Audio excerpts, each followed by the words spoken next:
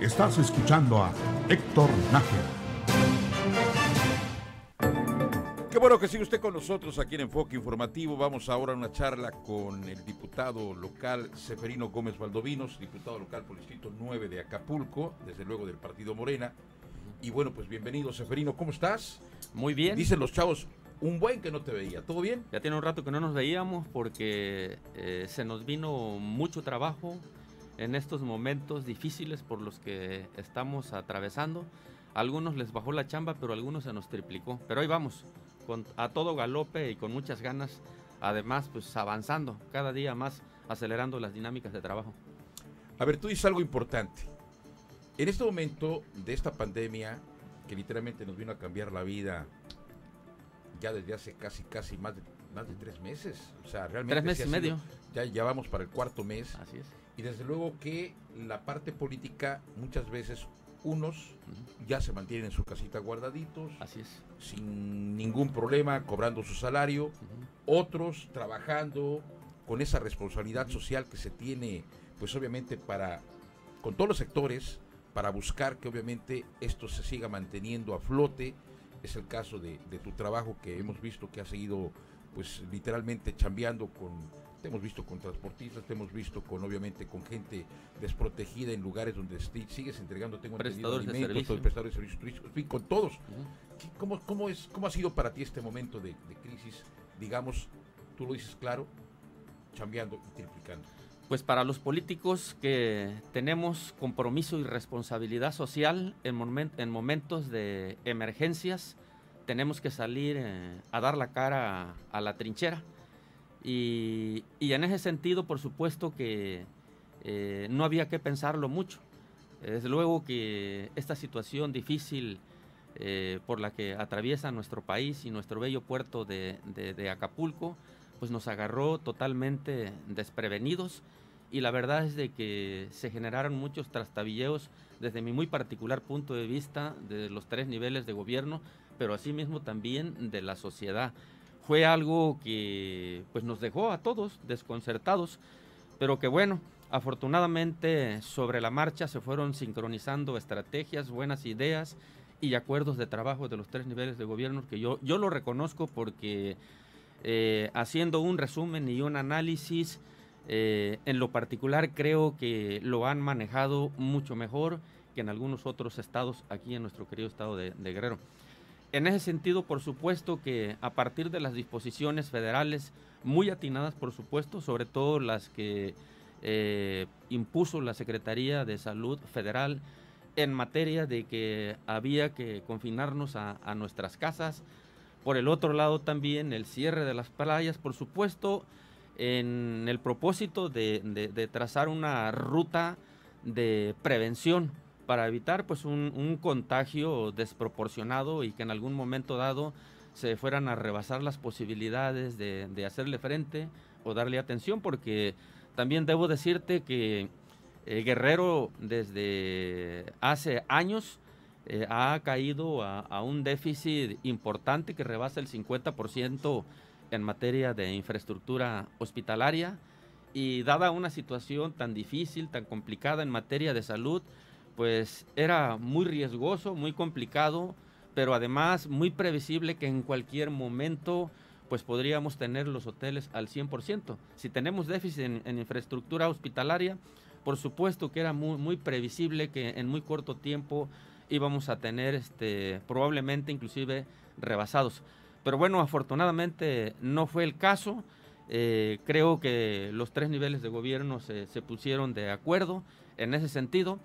Pero además también la otra parte que vino a afectar muy fuerte, muy fuerte, y que en algún momento dado pues tampoco no había que, correr el riesgo de que eh, fuéramos no fuéramos a tener eh, una X cantidad de muertes por el tema de salud y otra cantidad importante por una situación que se desatara en materia de hambruna, porque también el hecho de que se cierren las playas, digo, atinada la decisión, pero por supuesto también muy riesgosa y, un, y, y también que nos quede claro que impactó muy fuerte en la parte laboral.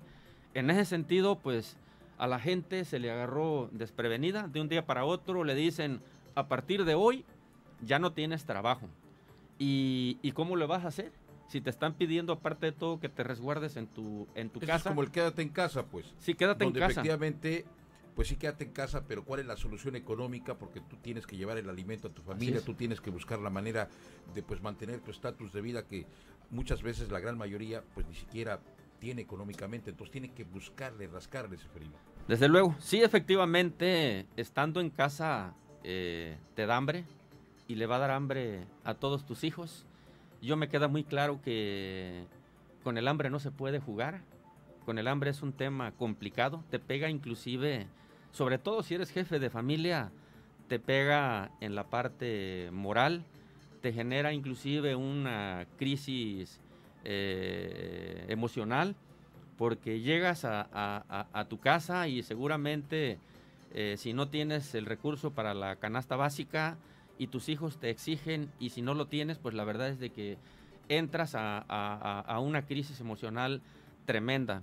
En ese sentido, la verdad es de que eh, eh, muchos de los que nos ha tocado pasar por situaciones complicadas, yo he dicho que eh, por suerte, yo creo que por suerte, porque en mucho me ha ayudado, la cigüeña me fue a dejar a un terreno en Breña, he dicho, donde se sabe lo que es amar a Dios, no en tierra de indios, pero donde sí a veces se come y a veces no, cuando se puede y cuando no nos aguantamos. Entonces, en ese sentido, la verdad es de que no me costó absolutamente ningún trabajo meterme a los zapatos de toda esa gente que se quedó sin empleo, sin posibilidad de tener el alimento. En algún momento propuse que después de una emergencia, lo primero que hay que llevarle al damnificado son los alimentos, máximo que se trata de, de un asunto de salud y que se requiere que tengan el sistema inmunológico fortalecido, pero ¿cómo lo vas a fortalecer si no tienes ni siquiera los alimentos? Los alimentos, claro. En ese sentido digo yo, pues decirle que te vayas a tu casa, pero sin resolverte el tema de la canasta básica, pues es como pegar un grito muy grande, pero en el desierto. Entonces, la verdad es de que yo puse sobre la mesa el tema de los comedores comunitarios, no hubo mucho eco, lo vieron inviable, se manifestó que era una puerta que difícil iba, se iba a poder cerrar después. Sin embargo, yo dije, no lo voy a, a- pensar tanto, tengo que tomar la decisión ya, porque es un problema grave que hay que atenderlo de manera urgente. Y un día dije, voy a hacer como lo que dijo este José Martí, que no hay mejor forma de decir las cosas que hacerlas. Y un día, en paralelo, tomamos la decisión y se abrieron siete comedores. Siete en el mismo día. Posteriormente seguimos abriendo otros hasta llegar a 10, más otros dos itinerantes. Y por supuesto que fue una, una iniciativa que tuvo mucho éxito. Los comedores inmediatamente se empezaron a llenar. Y digo, para muestra un botón, hay algo que dicen que cuando una estrategia se copia es porque tuvo éxito. Y cuando no la copian y la critican es que todavía no han encontrado la forma de copiarla. Entonces, creo que fue una muy buena iniciativa, buena estrategia que yo aplaudo y celebro que afortunadamente se sumó a, esa iniciativa el ayuntamiento de Acapulco, asimismo también el gobierno del estado. Y la verdad es de que finalmente el objetivo era que le pudiéramos llevar el alimento a mucha gente que quedó en la ince- incertidumbre laboral y financiera. Pero además, al mismo tiempo, le llevas el alimento a una a un sector social invisible que nadie los ve, Que no los ven. que nadie los ve. Pero además una cosa, Severino, a ver, ya gobierno estatal, gobierno municipal, ya quitaron sus comedores, Sí, excepción de los que ya tenían, me dicen, en el ayuntamiento, de por sí los fijos. así es. Entonces, en tu caso sigues. Yo sigo. La verdad es de que no puedo echármele para atrás, no me le puedo rajar al pueblo de, de- de Acapulco. Eh, me aterrizo en términos de que yo sé que ya estamos en el, en el semáforo naranja, pero también con las aclaraciones de que eh, la iniciativa privada en materia de, turística solamente van a poder trabajar al 30%. Y entonces yo creo que la lógica básica, común o, elemental o por sentido común, eso indicaría que no se va a recuperar el número de empleos que se perdió. va a ser seguramente paulatina, pero muy, muy poco a poco. ¿Y qué va a pasar con toda esa gente, con todos esos porcentajes altísimos que se quedan sin, sin, trabajo? Pues van a seguir ellos en la misma situación difícil y complicada. Porque si, si algunos pudieron ahorrar algunos centavos, pues se los gastaron a lo mejor en las primeras tres semanas. Pero ya vamos llegando a los tres meses y medio. Mira, hay sectores que yo no me imaginé que, que fueran a, entrar en esos, en esos problemas difíciles en materia económica y que les pegó. Estoy hablándote inclusive gente que se supone que es de media clase. También ya se les acabaron los ahorros. Pero por supuesto que sí. Entonces el tema pinta para difícil. Digo, no lo quisiéramos decir para que no, ahora sí que para no preocupar o estresar más a la, a la sociedad. Pero también yo creo que vale la pena no mentirle a la gente.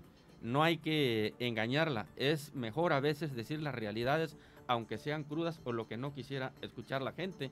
Yo un día me encontré en, como en dos o tres comedores, luego, luego en el arranque, filas de taxistas como de 30, 40.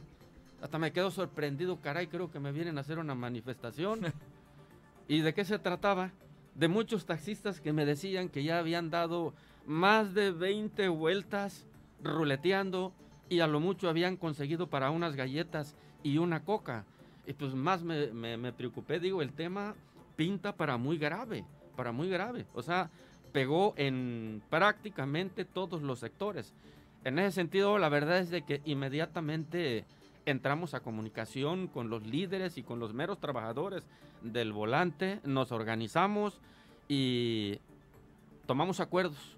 Llegamos al acuerdo de que íbamos a buscar alguna estrategia, algún mecanismo para, para apoyar a ese sector que también salió muy golpeado, el sector de transporte. Hay alrededor de 20 mil taxistas aquí en Acapulco, imagínate nada más. Me he reunido en este momento como con 5 mil, o sea, faltan todavía muchísimos, entonces la situación no es así muy, muy sencilla, establecimos acuerdos, algunos me dijeron que a veces se les imposibilita trabajar para, porque no tienen ni siquiera 100 pesos o 200 para la gasolina. Hicimos el acuerdo. A muchos, a muchos, muchos les apoyé con, gasolina. Otros me dijeron queremos este, insumos alimenticios. Se han repartido miles de despensas al sector transporte, o sea, a, a, los trabajadores del volante. Pues qué bueno que nos anuncias todo esto, porque al final, Seferino, pues dentro de todo esto siempre he dicho y lo sigo pensando, para poder lograr un objetivo es con hechos, es, con trabajo, es con resultados. La gente afortunadamente pues ya no es tonta, eso lo tengo que reconocer. Hoy la visión de la gente cambia y cambia inmediatamente. Hay quienes incluso pueden hacer lo mismo que tú estás haciendo, pero lo están haciendo en un plan buscando votos o situaciones que los volteen a ver. En tu caso, como tú bien lo dices, pues no estás en competencia económica ni con el ayuntamiento ni con el gobierno del Estado, pero al final tú estás buscando que el sector que efectivamente menos tiene es el que realmente no quede desprotegido. Digamos, los invisibles, como tú bien los llamas, aquellas personas, aquellas personas que existen y que les dicen quédate en casa, pero ¿y? Y sus casas son cuatro horcones con lámina de cartón y tan Entonces, ¿cómo te puedes quedar en casa cuando ves a tus hijos, cuando ves a tu esposa, cuando ves a tu madre o lo que sea, pues realmente en situación de riesgo por no tener ni siquiera lo más previsible que es la alimentación. Ojalá y lo sigas haciendo, de verdad amigo, te lo digo con franqueza, esta responsabilidad que se tiene a veces de abrir un micrófono y de buscar que efectivamente los políticos entiendan el trabajo que tienen que hacer y desarrollar ante la ciudadanía, es algo que tú dices, hablarles con la verdad, tan simple como eso, hablarles con la verdad y creo que la gente te puede entender más. ¿Algo que quieras agregar? Pues nada más decirte que sí, efectivamente, eh, avisó el, por parte del Ejecutivo Estatal que se cerraban los comedores, por parte del Ayuntamiento también. Sin embargo, eh, como, eh, como diputado, por supuesto, que también he dicho que abordaría este importante cargo con alto sentido de responsabilidad. En ese sentido, hice un exhorto al Ejecutivo Estatal para que de la partida, o más bien para que del ajuste financiero que se hizo para hacerle frente al COVID, precisamente se, apartara eh, algún recurso para la instalación de comedores emergentes durante toda la temporada de la pandemia.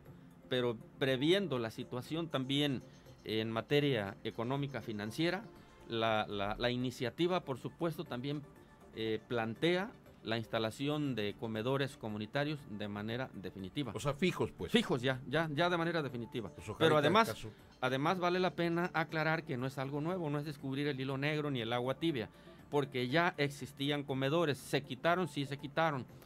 Se quitaron porque tampoco sabíamos que íbamos a encontrarnos con esta situación tan complicada en materia de salud laboral y financiera.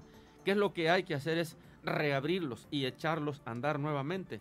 Entonces no es un presupuesto, no tenemos que volver a calcular el presupuesto porque es algo que ya se tenía, pero además también ya se contaba con los lineamientos, ya se contaban con las reglas de operación, entonces creo que no va a haber mayor conflicto para que se vuelvan a reactivar y echar a andar todos esos comedores de manera definitiva, al menos mientras no se vislumbre o se vea de manera muy clara eh, la recuperación económica en nuestro estado.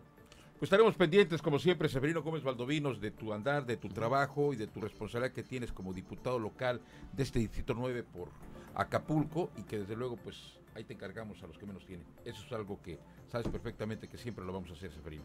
¿eh? Lo vamos a hacer en una charla más adelante. Lo vamos a hacer con mucho gusto. De antemano te agradezco que nos permitas informar a todo el pueblo de Guerrero y de Acapulco, pues de todas nuestras actividades que estamos llevando a cabo precisamente en esta época de pandemia y que en lo particular he abordado esta responsabilidad con mucho compromiso, con mucho cariño, porque además quiero que les quede claro que como servidor o representante popular sí tengo el compromiso, pero además quiero ayudarle a mi pueblo. ¿Qué es lo que debe hacer? Así es. Bien, Seferino Gómez Valdovino con mucha responsabilidad como siempre. Ahora, señoras y señores, gracias por esta charla. Vamos ahora a la capital del estado Chilpa.